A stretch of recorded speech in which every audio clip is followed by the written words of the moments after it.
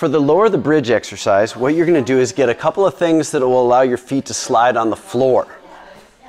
Have your heels on those, and then get down here in your bridge position. You're gonna bridge up and then lower the bridge by straightening your legs. Then go ahead and let your butt touch again. Bend your legs, lift it back up, and do it again. Do this with two legs as long as it's challenging. And then eventually what you can do is go to single leg and lower it like that. Same process, lengthen it, lower, bring it back, lift it up, and lengthen again. That's lower the bridge.